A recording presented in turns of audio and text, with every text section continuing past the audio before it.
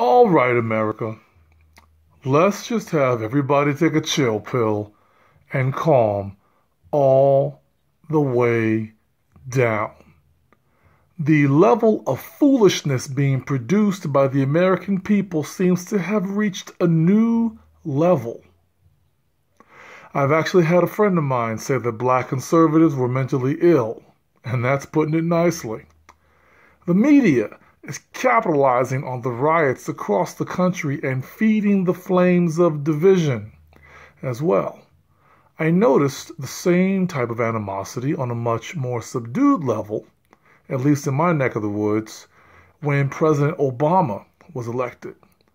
President elect Trump, however, has elicited an amazing level of ridiculousness from the people in many cities across America. The situation is ironic for me because I am not a fan of the Electoral College, and I do realize that if we functioned with a simple vote of the people, Mrs. Clinton would now be in office she would not bode well for those of us that are proponents of the Second Amendment. She did graciously suggest, however, that we give Mr. Trump the opportunity he has earned to prove himself. It seems that option is not on the menu for the protesters at this time. California and Oregon have even suggested that their state succeed from the Union due to irreconcilable differences with the rest of the country.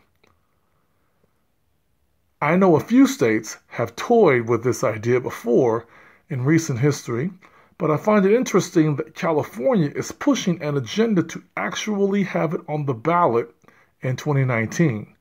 Go on over to Yes California, one word, yescalifornia.org, and you can read it for yourselves.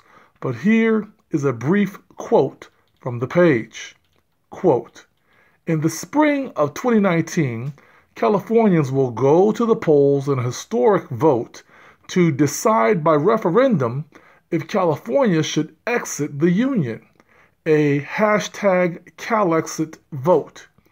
You will have this historic opportunity because the Yes California Independence campaign will qualify a citizens' initiative for the 2018 ballot that, if passed, would call for a special election for Californians to vote for or against the independence of California from the United States. End quote. Yes, it appears that this situation is on its way to becoming an actual thing. Thankfully, our nation has always been resilient, and it is my hope that our future president will be a man of his word and work to unite the people of our country. It is time we shook off the filthy grime of the various isms and began to see one another as Americans, and let our descriptors be used for the minor details.